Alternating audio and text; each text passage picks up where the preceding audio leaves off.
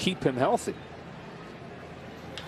That ball is hammered to left center field. Goodbye. Two-run shot. Tie game. Right up to where he used to sit as a kid coming to games here at Dodger Stadium. And it's going to be exactly what I just said. We're going to see this replay. He doesn't move. It's all upper body balance. You, you hit off your legs, no doubt. But he got a rare two-strike pitch in the middle of the zone. And it was like he flipped, just flipped it to left field. Watch this. Hands and then gone. That quick.